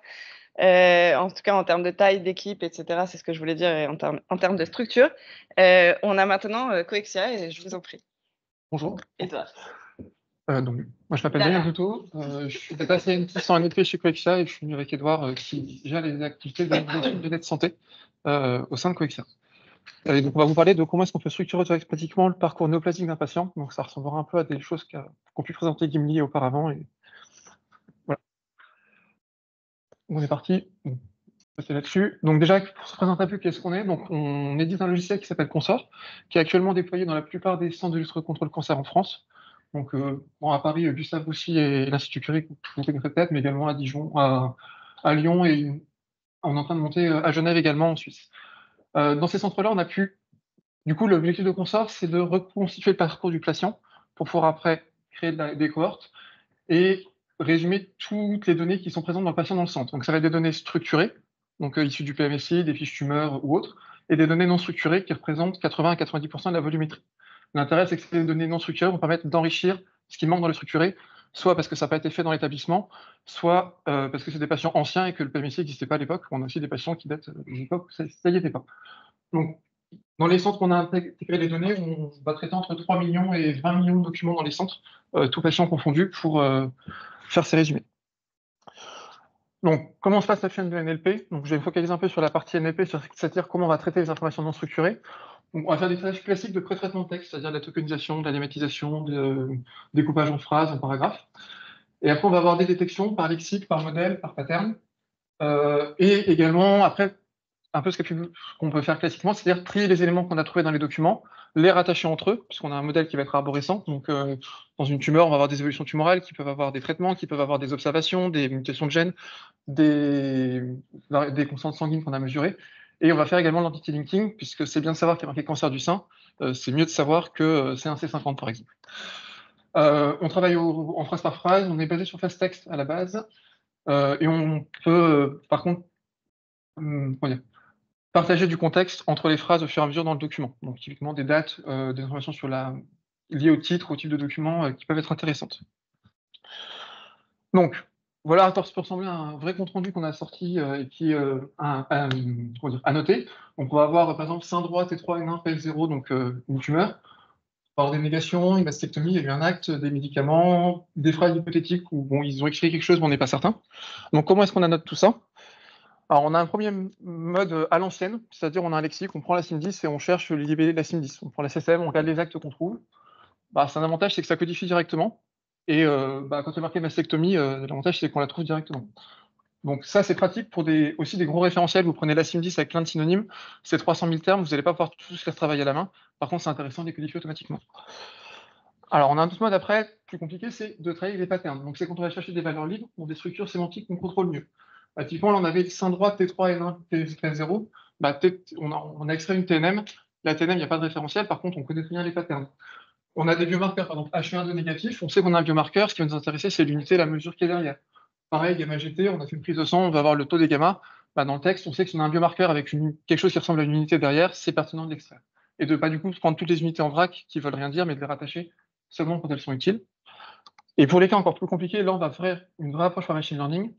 Pour les cas plus génériques, c'est-à-dire, bah, on va extraire les négations. Donc, qu'on a pu montrer, c'est euh, le patient n'a pas de métastase. Bah, ça serait quand même dommage de dire qu'il a une métastase, qu'il n'est pas en bonne santé. Euh, ou alors des phrases hypothétiques pour pas remonter des choses qui n'ont pas été activées. Et ça peut également servir en désambiguisation euh, de manière euh, fréquente. Donc voilà, donc on va trouver ces trois modes de stratégie qui s'empilent. hein. Donc les lexiques vont être utilisés dans les patterns qui sont après utilisés dans la stratégie machine learning. Donc du coup, si on fait deux étapes, on a la première étape, on va extraire une quarantaine de, propriétés. Donc euh, voilà, j'ai noté du texte à côté, donc on voit qu'il y a plein de trucs à noter en vrac. Il y a des fois des opinions sur lesquelles il y a plusieurs classes qui se recoupent. Euh, et bah, pour le moment, c'est des choses tout seul. Donc on sait qu'il y a marqué ça, on sait qu'il y a marqué gauche, on sait qu'il y a marqué euh, SDR, donc il y a un grade à côté, mais c'est pas lié. Pour le moment, c'est un gros sac et c'est euh, tout, euh, tout est indépendant. Alors, un petit point, c'est que dans les extractions, on a des extractions qui vont se faire par NER, directement par modèle, donc typiquement les niveaux de réponse, parce que c'est un peu compliqué à faire à la main. Et donc là, l'entraînement de modèle avait un intérêt. Et donc, les modèles qu'on a utilisés de NLP, comment est-ce qu'on les a fait Alors, au début, on est parti des vecteurs génériques de fast text. On s'est dit, c'est bien, mais bah, ça ne connaît pas bien le médical. Donc, bah, du coup, on les a réentraînés. Donc, on est reparti du corpus Wikipédia français générique. Et on a également parti des données qui venaient d'un centre. Donc, le centre avait plus de données à l'époque, c'est-à-dire 13 millions de documents, pour qu'il apprenne le vocabulaire médical. Euh, on a fait un test qui ressemble un peu à ce que vous avez montré, Pozo, sur les, distances. En nous, on a projeté en 3D, donc c'est moins visible à l'écran, je suis désolé, mais on a pris des termes qui nous intéressaient, de métastases, de biomarqueurs, de vide, de localisation. On a regardé que Wikipédia, et on a dit, bon, bah, en fait, euh, métastase, il est un peu partout, il ne comprend pas bien ce que c'est, les tumeur aussi, il ne comprend pas le médical. Et du coup, quand on a rajouté euh, pour l'embedding, du coup, les, les vraies données médicales d'un centre, ben on s'est rendu compte qu'il faisait beaucoup mieux des clusters de où sont les métastases. Il avait compris vraiment le sens médical. Et donc, ça, c'était plutôt pas mal. Euh, et au global, on a gagné entre 1 à 6% sur tous nos modèles en score F1 euh, en faisant ça. Euh, L'entraînement des modèles, ben, on a fait un peu la même démarche qui a déjà été expliquée plusieurs fois, c'est-à-dire qu'on est parti sur des mots-clés qui nous intéressaient. Donc pour les métastases, on a cherché des documents qui parlaient de métastases, polymétastatiques ou autres. On a aussi pris des, documents ou des phrases qui n'en parlaient pas du tout pour pas surentraîner le modèle à la tâche. Et puis après, bah, comme deux personnes avant, quand c'est des phrases qui ne marchaient pas euh, dans le cas réel, ben, on a regardé pourquoi ça ne marchait pas. On a rajouté des phrases dans le cas d'essai pour euh, optimiser au fur et à mesure nos, performances. Donc à la fin, on a des modèles qui sont tous entre 85 et voire même quasiment tous jusqu'à 90% score F1. Donc sur des tâches euh, élémentaires, donc ça va être détecter des négations, détecter des protocoles, des réponses, ou voir si une phrase parle de métastase, si une hypothèse, si une négation, c'est un antécédent familial, c'est un header du document. Et une fois qu'on a dit ça, bah, en fait, on n'a pas fait grand-chose, parce qu'on a extrait des choses. Et à la fin, bah, même si nos modèles sont à 90%, un document, ça va être 100 phrases. Donc en fait, vous êtes sûr de vous planter quelque part. Et euh, ça va être encore pire, c'est que l'impression, ça va être 100 à 300 documents. Donc en fait, vous allez vous avoir plein d'erreurs dans votre jeu de données. Et après, bah, le point important, c'est comment est-ce qu'on groupe tout ça et comment est-ce qu'on trie la donnée. Parce que, voilà, c'est facile de surligner le texte, c'est beaucoup moins facile de restructurer la donnée et d'avoir un, une vue complète. Ça ressemble un peu à ce qu'on a vu avant, mais du coup, la première étape, déjà, vu qu'on travaille au niveau de la phrase, c'est qu'on a trouvé plein de concepts. Donc, on a des noms de tumeurs, des localisations, des côtés, des dates, des... Plein de choses. Donc, on va, on va les regrouper entre eux. Donc, on va avoir, euh, par exemple, les patins, on va dire, bon, bah, si on a une localisation avec une latéralité à côté, bah, c'est, a priori, le droit, il parle du cancer mammaire et pas euh, du médiastinal qui est au fond. Bon, après, il faut faire gaffe de mettre au bon concept. On voit aussi là qu'on a une négation, sans mastectomie. Donc, bah, ce qu'on avait dit, c'est ce serait bien de ne pas remonter que le patient ait une mastectomie s'il ne l'a pas eu. Euh, bon, après, on continue de regrouper. Donc, on va regrouper la localisation avec le nom tumeur. Euh, là, on a une récidive avec euh, trois localisations. On fait des règles pour regrouper tout ça. Et après, il faut relier parce qu'on a notre tumeur, mais en fait, notre tumeur, elle a une date. Et puis, elle a aussi les, les évolutions qui vont avec. Donc, il y a des règles qu'il faut mettre en place pour faire ces, ces rattachements-là. Et après codifier. Bah, donc, tout ce qui a été récupéré par référentiel, c'est facile à codifier. On a trouvé sein, ma mère, ça c'est 50.9, c'est pratique. Euh, la tumeur secondaire, on a des référentiels adaptés et ainsi de suite. Les dates avec des précisions pour savoir, bah, on a la date, mais on n'a que l'année, donc c'est il faut, il faut en tenir compte plus tard. Et puis les concepts qu'on enlève, donc, par exemple là, le, code CCL de la mastectomie qui ne servira à rien plus tard. Une fois qu'on a fait ça, on se retrouve au niveau du patient. Donc là, je prends l'exemple des diagnostics, mais on va avoir, euh, je sais pas, 200 diagnostics pour le patient, il va y avoir euh, 52 C59, des C50, donc ça, c'est tous les codes du sein. Et il faut des règles pour réussir à les regrouper. Donc les règles, elles peuvent se baser sur l'arborescence de, de la CIM, par exemple. On sait que tous les codes sous C50, c'est des cancers du sein. Et donc, on va essayer de résumer ça. Et puis, bah, tous ces codes-là, c'est pas des localisations du sein. Donc, soit c'est un deuxième cancer, soit c'est une métastase. Donc, il faut mettre en place des règles pour trier ça. Puis dire à la fin, bah voilà, on avait un C50.2 qui avait euh, deux localisations métastatiques. Hop, je me. Et à la fin, bah, du coup, il faut réussir à créer l'historique patient. Donc, on va alimenter un, modèle qui a, tous les niveaux qui vont bien. Et euh, bah là, il n'y a, y a pas de solution magique. Ici, il y a 50 objets, il faut une règle par objet pour remplir les objets et faire les tri. Donc, on se retrouve avec un système qui a beaucoup de règles pour prendre en compte tous ces éléments.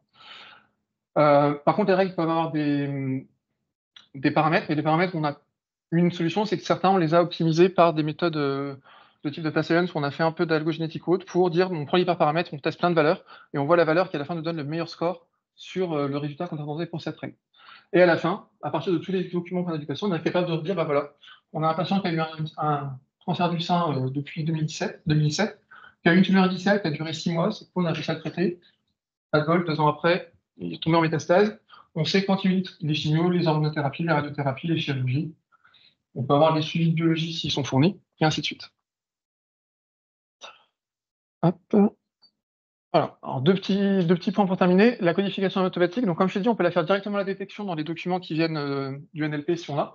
Et si on l'a pas, on, peut aussi passer par des recherches plein texte si on a assez de synonymes sur les référentiels pour récupérer le texte. Et c'est-à-dire que là, on va pouvoir prendre en compte les dématisations ou des synonymies qui vont mieux fonctionner. Donc, on a essayé la terminologie de référence dans chaque domaine, donc que ce soit la CIDIS, la CIMO, la DICAP, la CCM, Cosmic, Vidal, que sais-je.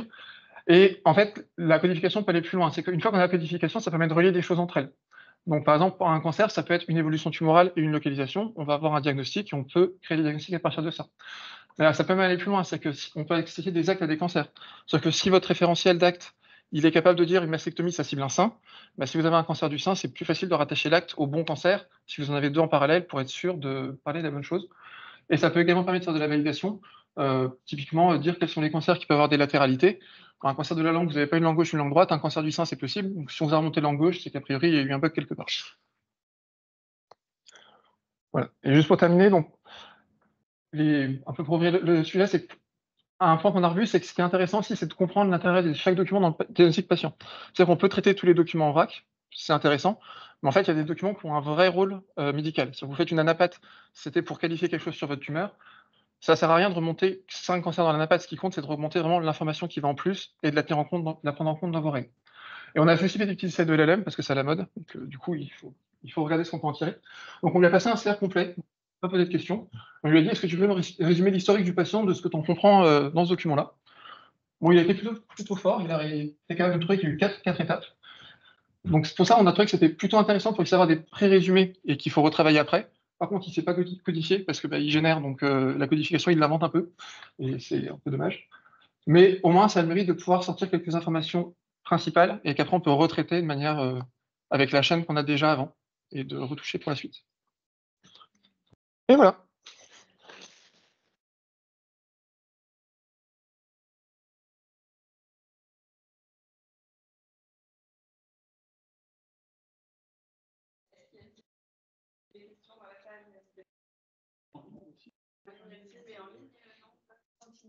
Vous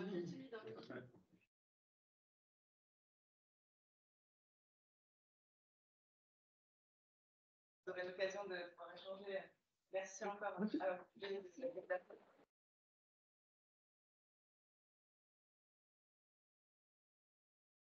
Philippe, Philippe? Ouais. Ah. ah non, les annexes, c'est pas nous. Non, nous, c'est là. Voilà. Après, nous, c'est ça. Vas-y, commence. je commence. Non, bah, je, tiens, je, je, tiens à vous remercier hein, tous en ligne et puis euh, à être venus nombreux. Quoi. Euh, remercier aussi les collègues hein, qui ont, monté tout ça. Alors oui, évidemment, vous vous doutez que je ne suis pas Céline.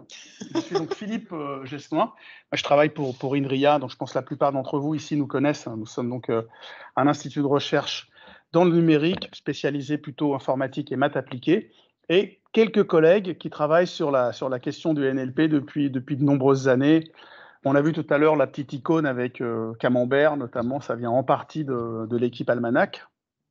Euh, voilà, et, quelques autres. Il y a l'équipe ECA également ici qui, s'intéresse beaucoup à ces questions-là, qui développe euh, d'ailleurs un, package en libre qui s'appelle MedKit. Donc je pense qu'ils ont commencé à sortir une première version d'ailleurs. Et puis je voulais remercier aussi particulièrement donc, Coexia pour nous avoir prêté et nous avoir sauvé en partie l'événement, nous avoir prêté la pieuvre, et la société Pozos aussi, qui est euh, à l'origine des premiers, euh, des premiers meet-up NLP. Voilà, donc vous avez quitté le lieu, tout ça, donc on l'a, on l'a, on l'a repris sous une autre forme. En tout cas, nous, nous sommes euh, grandement reconnaissants à Pozos d'avoir lancé la communauté. Et rappelez aussi qu'un meet-up, ça, a un côté où on peut un peu plus se détendre. C'est-à-dire que là, je vois que je remercie en tout cas les intervenants d'avoir fait des grands efforts et d'avoir été très didactiques, ça, mais un meetup, vous pouvez vous lâcher aussi. Vous pouvez présenter des lignes de code, mettre des équations. Enfin, je ne vous encourage pas spécialement à le faire, mais si vous pensez que c'est important, c'est aussi le lieu où on peut le faire parce que c'est entre personnes qui apprécient aussi ce, genre de choses. Voilà, donc euh, encore merci à, tous. Céline, je t'en prie. moi, très rapidement, euh, parce qu'il y a un, super apéro qui vous attend juste après. Euh, vous donnez rendez-vous le 4 juin. c'est le prochain meet-up qu'on organise, co-organise ici. Et puis, vous rappelez qu'on a donc pour 2024 mis en place un appel à candidature pour permettre de en fait, faire participer les industriels. Donc, l'objectif, on en a lancé un il y a deux mois, ce qui nous a permis de finalement sélectionner trois entreprises que vous avez vues aujourd'hui. On a déjà les trois prochaines entreprises pour le 4 juin. euh, et on relancera un prochain appel à candidature pour le deuxième semestre, puisque l'objectif est de faire euh, au moins trois meet-up euh, NLP Santé dans l'année. Euh, si un besoin, enfin, si vous estimez, si vous avez envie qu'on en organise plus, c'est pas impossible. Euh, donc tout dépendra en fait finalement du besoin et de et de et de finalement cet élan euh, euh, et la réponse euh, aux appels aux candidatures, aux, aux- pardon aux appels à candidature euh, côté industriel. Et puis nous euh, nous chargeons euh, avec Thierry, avec Tayeb, avec Christelle et Philippe de trouver la partie euh, académique. Voilà. Est-ce Les pizzas.